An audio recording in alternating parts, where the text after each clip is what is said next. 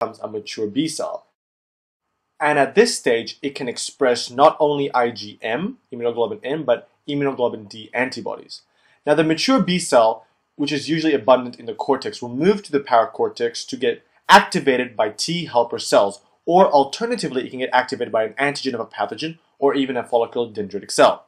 Now, when this mature B cell gets activated, regardless, it will move into the germinal center, the dark zone, and begin to proliferate, a process called clonal expansion. Now, it is thought that the mature B cells, when it proliferates into cells called centroblasts, an intracellular enzyme called AID will introduce mutations, point mutations on the variable region of the DNA. So, the variable region that encodes for the variable region of the antibody. And so, this introduction of mutations, also known as process called hypermutation, will change the antibody increasing its affinity or decreasing its affinity, increasing its specificity or decreasing its specificity.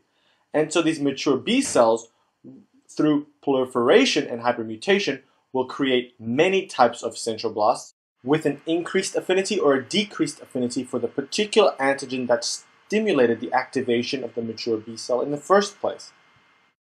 Now, in the light zone of the germinal center, we have other types of cells, such as follicular dendritic cells, FDC, and T helper cells, with the antigen presented to the mature B cell in the first place. Now, what happens is the centroblasts will move from the dark zone into the light zone, where they will become centrocytes.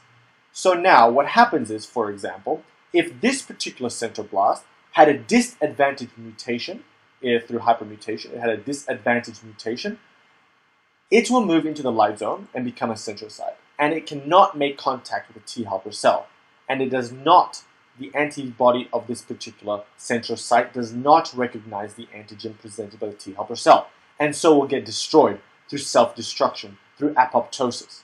Similarly, this centroblast also has a, had a disadvantaged mutation, and so is not needed by the body because the antibody does not recognize the antigen. Its affinity decreased and so it goes through apoptosis. However, this particular centroblast had an improved affinity through hypermutation. And so, as it moves to the light zone and becomes a centrocyte, it recognizes the antigens and uh, from the T helper cell or the follicular dendritic cell. And so the body would want to produce more of this particular centrocyte because it had improved affinity. And so this particular centrocyte will undergo a process called class switching and differentiation.